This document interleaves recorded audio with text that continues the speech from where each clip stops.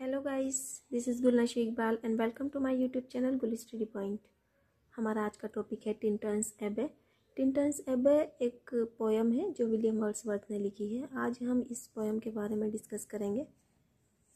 ये पोयम कब लिखी गई और इसमें किस बात को पोइट ने बताया है। ये सब चीज़ें आज हम इस वीडियो में कवर करेंगे। इसलिए वीडियो को पूरा देखें। वीडियो पसंद आए तो वीडियो को लाइक और शेयर करें और चैनल पर सब्सक्राइब करें। Tintern Abbey is a poem by William Wordsworth Tintern Abbey एक पोएम है जो विलियम वर्ड्सवर्थ के द्वारा लिखी गई है। It is published in the first edition of lyrical ballad 1798 it is published यह प्रकाशित की गई इन द फ़र्स्ट एडिशन प्रथम एडिशन में ऑफ़ लिरिकल बैलेड 1798 देखिए, मैंने अपनी पिछली वीडियो में आपको लिरिकल बैलेड का टॉपिक कवर करवाया है। लिरिकल बैलेड में चार एडिशन है। सेवनटीन, फ़र्स्ट एडिशन जो है पब्लिश्ड हुआ था सेवनटीन नाइन्टी एट में, सेकंड एडिशन पब्लिश हुआ था एटीन हंड्रेड में, third edition eighteen zero two में और fourth edition eighteen zero five में पब्लिश हुआ था, ठीक है? तो जो टिंटन्स एबे है, विलियम वर्ड्सवर्थ की, ये टिंटन्स एबे जो फ़र्स्ट एडिशन था सेवनटीन नाइन्टी एट वाला, उस वाले में पब्लिश हुई थी। The full name of the poem Tintern Abbey is lines composed a few miles above Tintern Abbey इसका जो पूरा नाम है, वो क्या है? Lines composed a few miles above Tintern Abbey ठीक है, इसका पूरा नाम ये है। The poet William Wordsworth visited Tintern Abbey in the summer 1793 देखिए, इसमें जो टिंटन्स एबे है, इसमें जो पोइट है विलियम वर्ड्सवर्थ जिन्होंने इसको लिखा है वो टिंटन्स एबे के बारे में बताते हैं। पहले विलियम वर्ल्सवर्थ टिंटन्स एबे घूमने जाते हैं सत्रह सौ तिरानवे ईस्वी में, पहले जब जाते हैं समर में, गर्मियों की गर्मी में वो सत्रह सौ तिरानवे में टिंटन्स एबे घूमने जाते हैं अपनी अपनी बहन डोरोथी के साथ। सत्रह सौ बयानवे में विलियम वर्ड्सवर्थ जो है, फ्रांस से वापस आ जाते हैं, क्योंकि फ्रांस में फ्रेंच रिवोल्यूशन चल रहा था, वहाँ पर बहुत खून खराबा हो रहा था। इनोसेंट पीपल को मारा जा रहा था तो उससे बहुत परेशान होकर विलियम वर्ड्सवर्थ अपने होम टाउन वापस आते हैं तो वो अपनी मेंटल पीस के लिए कहीं घूमने जाते हैं तो वो कहाँ जाते हैं? टिंटन्स एवे घूमने जाते हैं in December seventeen ninety three में। जब उनकी उम्र लगभग तेईस साल थी he revisited there again in thirteen July seventeen ninety eight और वे दोबारा वहाँ पर घूमने जाते हैं। In thirteen July seventeen ninety eight तेरह जुलाई सन सत्रह सौ अट्ठानवे में। जब उनकी उम्र मतलब पहले सत्रह सौ तिरानवे में गए, फिर पाँच साल बाद घूमने गए वो वहाँ पर, तेरह जुलाई सत्रह सौ अट्ठानवे में, जब उनकी उम्र लगभग अट्ठाईस साल हो चुकी थी। It is considered one of the finest poem of William Wordsworth ये विलियम वर्ड्सवर्थ की फाइनेस्ट पोएम में मानी जाती है। There were about one sixty lines in the poem लगभग इस पोएम में एक सौ साठ लाइन्स है। देखिए, ये छोटे छोटे पॉइंट्स मैं आपको इस वीडियो में कवर करा रही हूँ। अगर ग्रेजुएशन के स्टूडेंट्स हैं तो ग्रेजुएशन में ऑब्जेक्टिव क्वेश्चन में ये सब आ सकते हैं। आसान क्वेश्चंस जैसे पूछ लिया कि विलियम वर्ड्सवर्थ पहले ट्विंटन साहब घूमने कब गए थे? तो आपको लिखना है सत्रह सौ तिरानवे। और दोबारा कब गए थे? सत्रह सौ अट्ठानवे में, तेरह जुलाई सत्रह सौ अट्ठानवे में। ये क्वेश्चन ऑब्जेक्टिव टाइप क्वेश्चन में आ सकते हैं, इसलिए इसको अच्छे से मेमोराइज कीजिए। और पाँच साल बाद गए थे, जब पहले घूमने गए थे तो विलियम वर्ड्सवर्थ की उम्र तेईस साल थी, और जब बाद में घूमने गए थे तो उनकी उम्र अट्ठाईस साल थी। और इस पोएम में लगभग 160 लाइन है ये भी आपको याद रखना है। It is regarded as a great example of romantic poetry ये रोमांटिक पोइट्री का एक ग्रेट एग्ज़ाम्पल है। It is written return in decasyllabic blank verse और ये ब्लैंक वर्स में डेकास्लेबिक ब्लैंक वर्स में लिखी गई है। It is a remarkable poem from the point of view poetic emotions, poetic dictions and perfect meter. It is a remarkable poem ये एक remarkable poem है। किस पॉइंट ऑफ़ व्यू से? पोइटिक इमोशंस की वजह से पोइटिक डिक्शन की वजह से और परफेक्ट मीटर की वजह से ये जो है एक रिमार्केबल पोएम है। The soul of nature and the river Wye and its surrounding inspired the poet to compose the present poem ये जो पोएम है, जब विलियम वर्सवर्थ वहाँ पर सत्रह सौ तिरानवे में घूमने जाते हैं तो तब तक वो कोई पोएम नहीं लिखते हैं। लेकिन जब दोबारा घूमने जाते हैं, उनको वहाँ पर अपने माइंड में जो है मेंटल पीस मिलती है, यानी कि उनको वहाँ पर जाकर नेचर नेचुरल चीज़ें देखकर उनको शांति मिलती है मानसिक। तो द सोल ऑफ़ नेचर प्रकृति की आत्मा एंड द रिवर वाई और नदी का नाम है वाई एंड इट्स सराउंडिंग और इसके चारों ओर की चीज़ें इंस्पायर द पोइट, इंस्पायर करती हैं, प्रेरित करती हैं द पोइट कवि को to compose a present poem ये पोएम लिखने के लिए। मतलब जो, जब वो घूमने जाते हैं तो वाई नदी के सराउंडिंग चारों तरफ़ का जो वातावरण है और नेचर है वहाँ का तो ये और वाई नदी, ये सब जो है विलियम वर्सवर्थ को टिंटन्स एबे लिखने के लिए इंस्पायर करती है। The Wye is a great Welsh river Wye नदी जो है एक ग्रेट वेल्श रिवर है। It flows through a mountain terrain ये एक पर्वत से गिरती है। Then descends into the valley of Wye और तब वाई नदी की घाटी में गिरती है। Worth first visited the upper banks of the river Wye in the age of twenty three in seventeen ninety three William Worth सबसे पहले जब जाते हैं घूमने 1793 में तो upper banks of the river मतलब नदी के ऊपरी किनारे पर जाते हैं। वाई नदी के ऊपरी किनारे पर जाते हैं। जैसा कि मैंने आपको बताया the poet return from France in seventeen ninety two जैसे कि मैंने अभी आपको बताया था कि पोइट सत्रह सौ बयानवे में फ्रांस से वापस आते हैं। He had seen the reign of terror in France उन्होंने जो है फ्रांस में बहुत ज़्यादा भय का शासन देखा था। The killing of innocent people in France disturb the calm of his mind and he was in search of mental peace जब इनोसेंट पीपल को वहाँ पर विलियम वर्सवर्थ ने मरते हुए देखा तो उनकी मन की शांति काम ऑफ़ माइंड जो है उनकी डिस्टर्ब हुई तो इसलिए वो मेंटल पीस की तलाश में थे।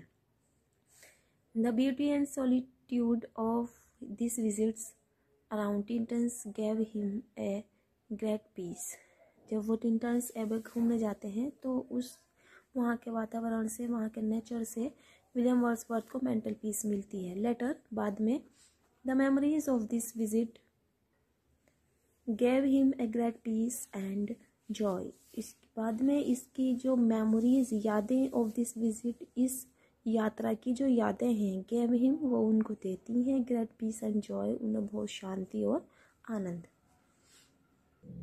द पोइट सेज, कवि कहते हैं, no poem of mind was compose under circumstances more pleasant for me to remember than this.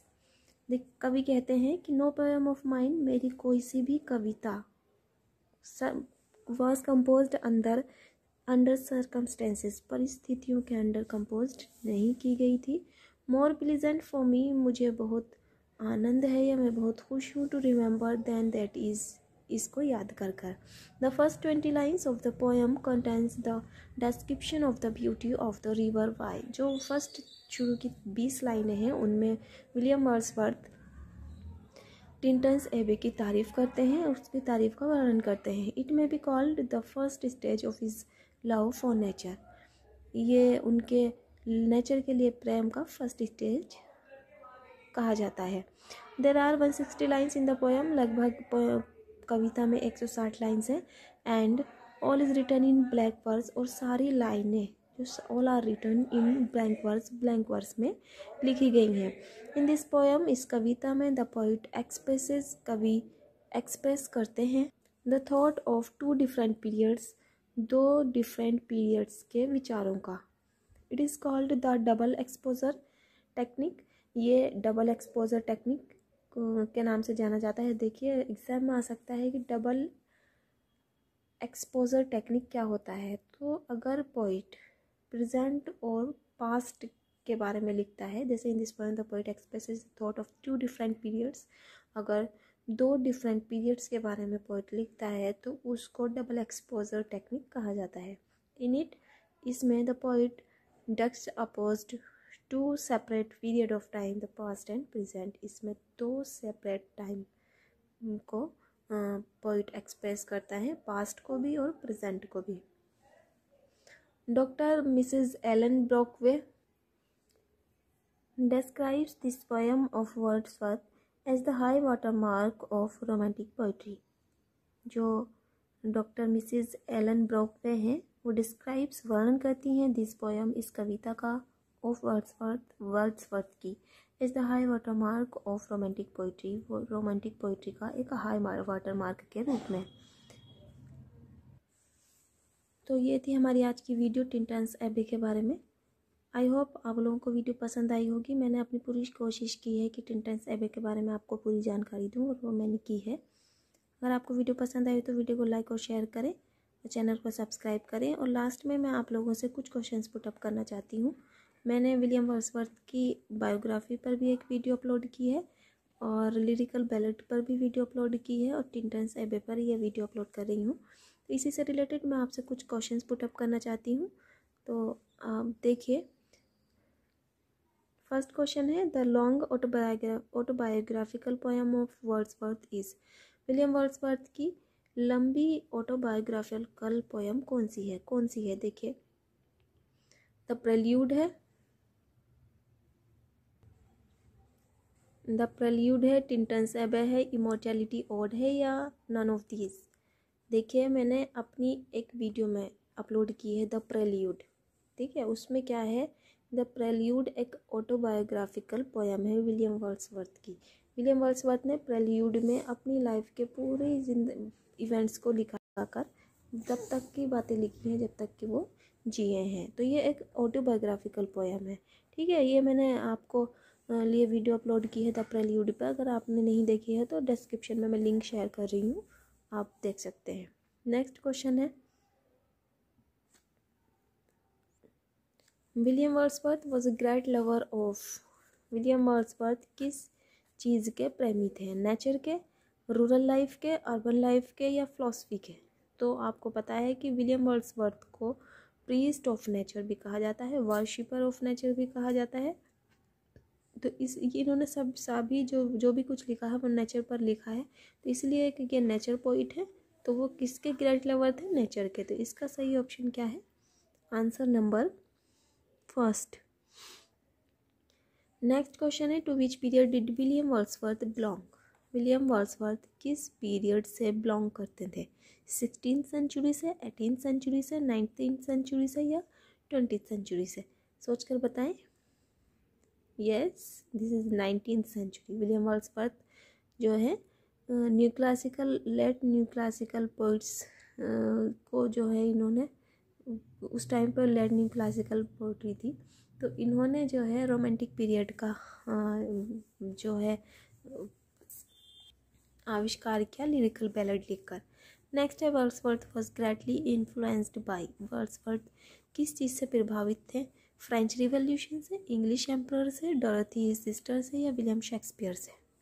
तो विलियम वर्ड्सवर्थ जो हैं फ्रेंच रिवॉल्यूशन बहुत ज़्यादा इन्फ्लुएंस्ड थे।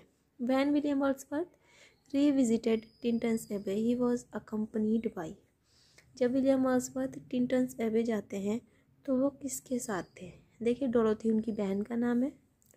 डोरोथी के साथ थे जूडी फ्लैग के साथ थे लेडी वॉल्सवर्थ के साथ थे या हिज फ्रेंड उनके फ्रेंड के साथ थे। उनके फ्रेंड का क्या नाम था? S T college S T college और विलियम वर्ल्सवर्थ ने मिलकर ही जो है लिरिकल बेलड को पब्लिश करवाया था। विलियम वर्ल्सवर्थ ने और एस टी कॉलेज ने मिलकर लिरिकल बेलड को लिखा था। तो विलियम वर्ड्सवर्थ टिंटन्स एबे जब दोबारा जाते हैं तो वो किसके साथ जाते हैं? अपनी बहन के साथ जाते हैं और उनकी बहन का क्या नाम है? डोरोथी तो राइट आंसर क्या हुआ? ए डोरोथी नेक्स्ट क्वेश्चन है William Wordsworth was born in William Wordsworth कब पैदा हुए थे? सत्रह सौ तीस में, चालीस में, साठ में या सत्तर में। तो ये भी मैंने आपको बताया है। विलियम वर्ड्सवर्थ की बायोग्राफी देख लीजिए आप। विलियम वर्ड्सवर्थ सत्रह सौ सत्तर में पैदा हुए थे। नेक्स्ट है the poet describes duty as the strict of the voice of God. देखिए विलियम वर्ड्सवर्थ डेस्क्राइब्स वर्णन करते हैं। Duty as the strict daughter. इसका जो सही आंसर है डॉटर। कर्तव्य जो है, एक स्ट्रिक्ट डॉटर है of the voice of God भगवान की आवाज़ का। नेक्स्ट है William Wordsworth William Wordsworth died in William Wordsworth की मृत्यु कब हुई थी?